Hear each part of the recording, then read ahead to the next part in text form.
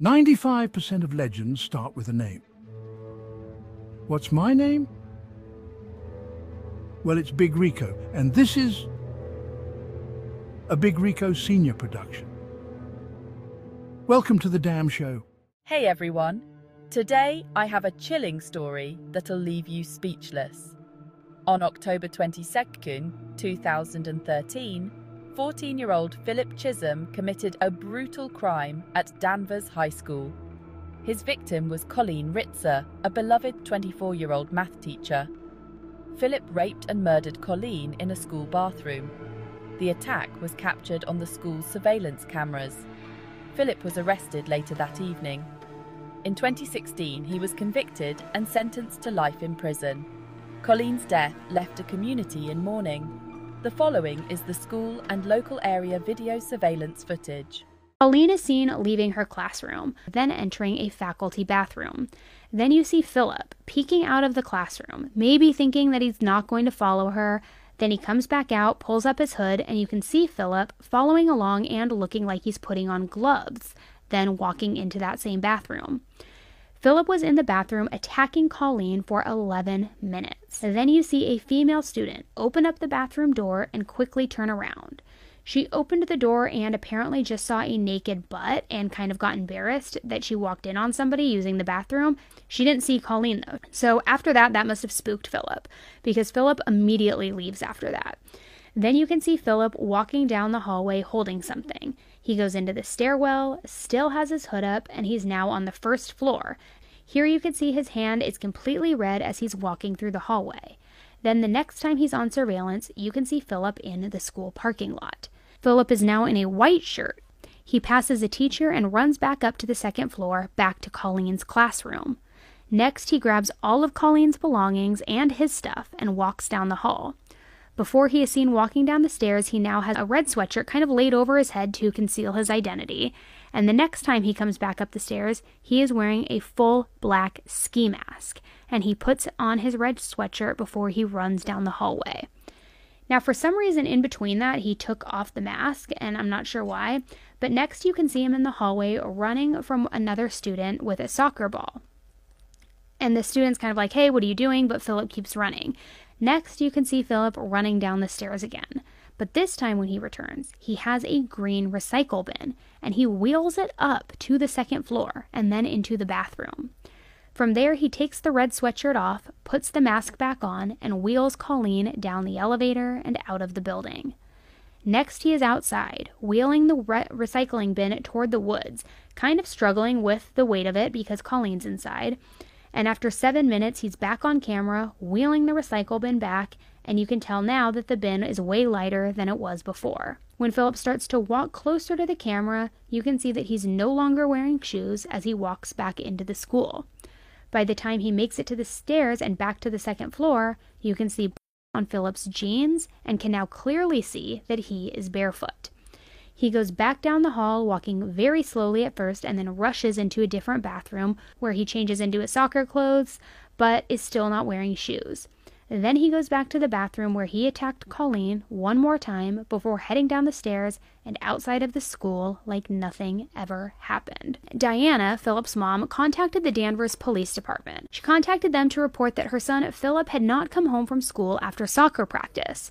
She said that she went to the school and the athletic facility, and he was not anywhere to be seen, but his teammates said that Philip had mysteriously vanished and actually completely missed practice at 4 p.m. The last time they saw him, they say he was running away from the soccer field in the complete opposite direction. So, after calling the police, Diana went down to the station and filed a missing persons report. While there, she gave the police Philip's phone number, hoping that they'd be able to ping him, to track him, to figure out where he had gone and what his location was. And luckily, they did, in fact, get a hit.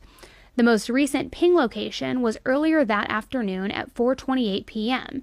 It pinged near a movie theater called the Hollywood Hits Theaters. So Danvers police go to this movie theater to conduct a canvas search, where they learned that Philip did in fact buy a movie ticket, watched the movie, and then left. But after that, they weren't able to find any phone pings. They couldn't trace his whereabouts after that. They didn't know his, know his location, and none of this made any sense to Diana, his mom. Once the news spread, Danvers High School principal Sue Ambrosevich sent out a mass email to all of the school staff around 9 p.m., letting everybody know that Philip was missing. And after this mass email went out, the principal received a phone call from a woman named Sarah. She was a math teacher at Danvers High School. And this math teacher, Sarah, told the principal that she received a call from another math teacher named Colleen's parents, Tom and Peggy. And Tom and Peggy told Sarah that their daughter, Colleen, also a math teacher, follow me here, guys, follow me here, guys, that she didn't come home from school that day. And they believed that she, too, was missing. So let's go back to Philip. Just a few hours after he was reported as missing, around 12:30 a.m., Topsfield police were called about a pedestrian walking alongside the highway, walking in the wrong direction. The police found this person and the responding officer, Neil Hovey, realized that the individual walking was that missing teenager from Danvers, Philip Chism. So when officers first saw Philip, they noticed that he had a ski mask pulled down around his neck which initially didn't seem all that weird because it was late October in Massachusetts and it was freezing outside.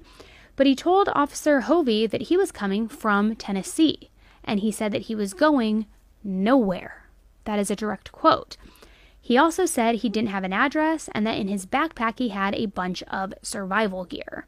So this officer did a very quick pat down on Philip just for safety reasons, and he discovered that there was a rock in a po- in one of his pockets and also a credit card. The credit card had a woman's name on it, Colleen Ritzer. But the name didn't mean anything to the officer at the time because no reports had been put out about Colleen as missing and nobody had connected those dots yet. Philip said that he got the credit cards at a stop and shop convenience store. But this officer saw this underage kid, a situation that wasn't really feeling right, so he put him in the back of the police cruiser so that he could warm up, and then he took him to the police station so they could figure out what the heck was going on. While they were at the police station, the officers at the station made a very disturbing discovery when they asked Philip about the backpack that he was carrying with him with that survivalist gear. An officer asked him, Is there anything in here that can hurt me? And Philip responded, Yes. Inside the backpack, he found a blood-stained box cutter. So he asked, Where did the blood from come from that's on this? And he said, The girl. And then the officer asked, Where's the girl?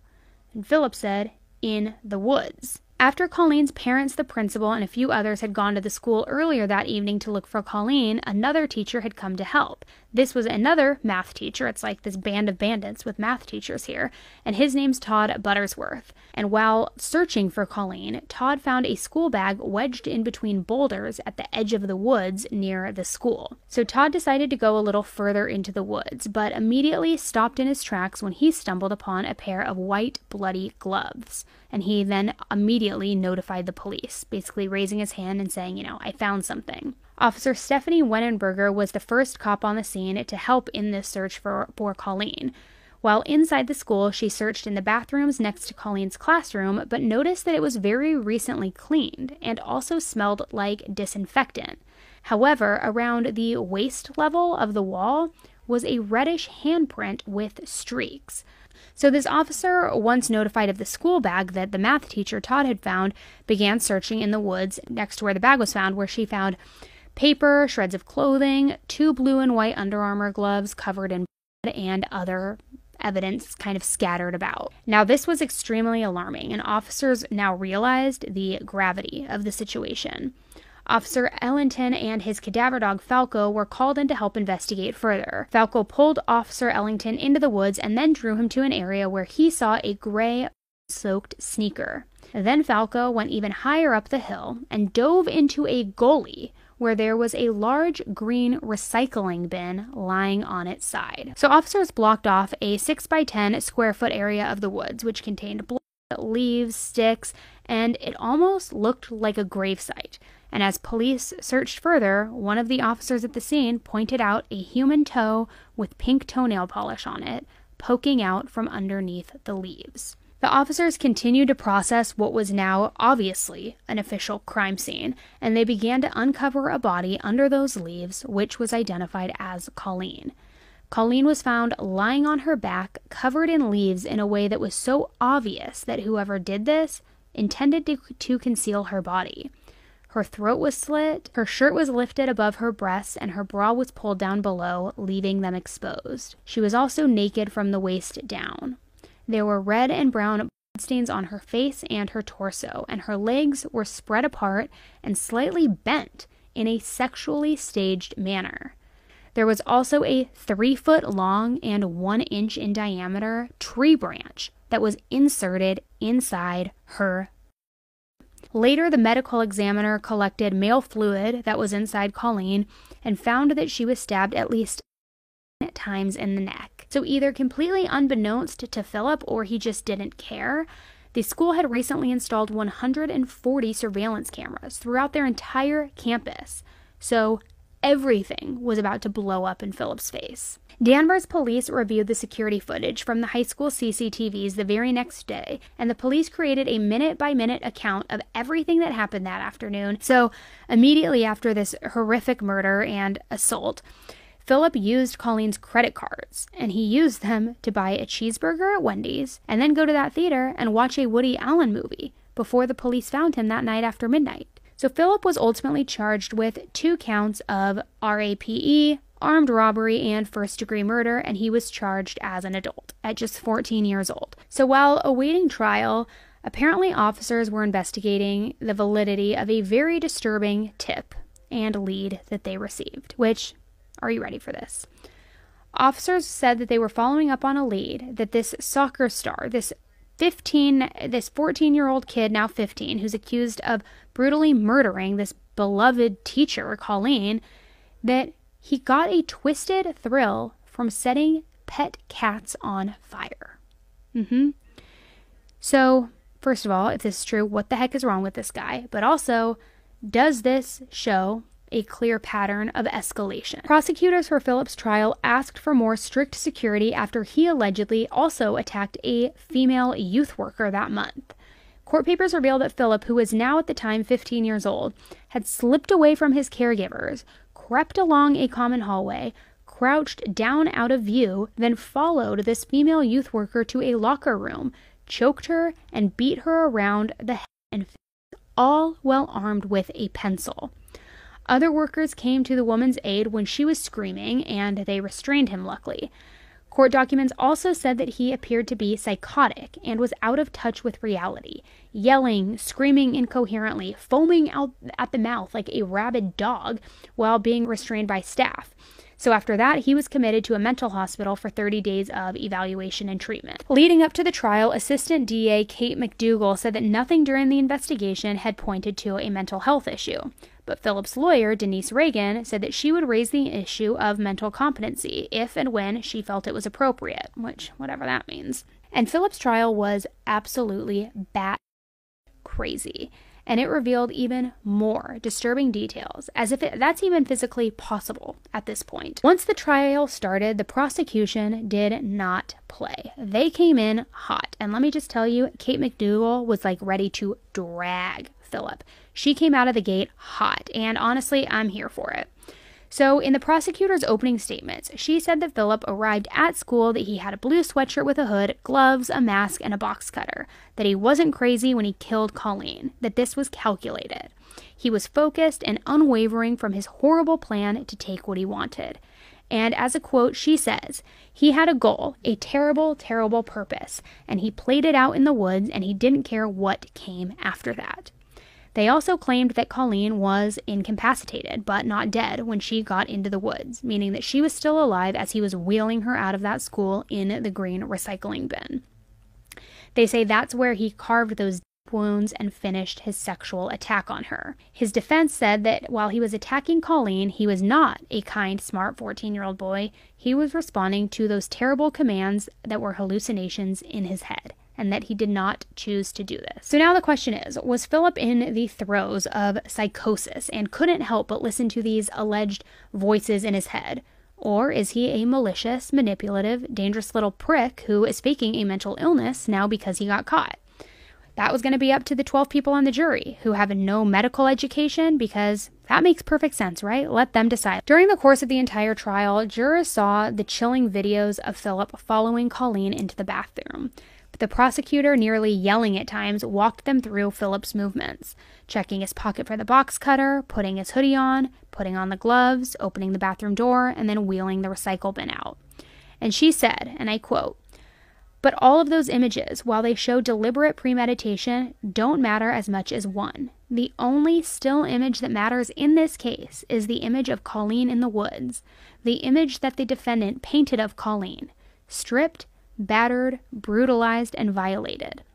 The defense was able to get Philip's initial conversation and confession, where he told the police about the girl and the woods, thrown out, but fortunately, the case was so strong from that video and the physical evidence. And I mean, it's just unreal. Like, thank goodness for all of those video cameras.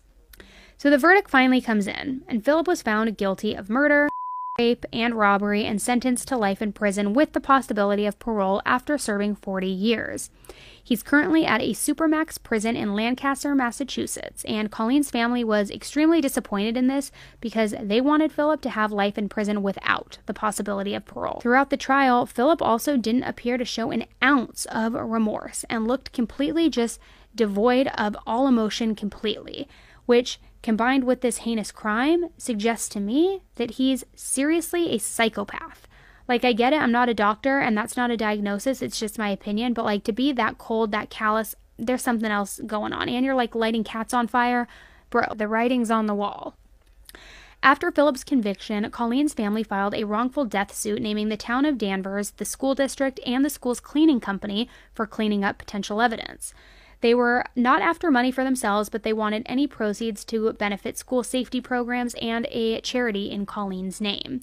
Ultimately, the lawsuit asked for answers, like why nobody was monitoring those surveillance cameras in real time, why Philip was just allowed to roam the school visibly showing, which are all pretty fair points, if I'm going to be honest.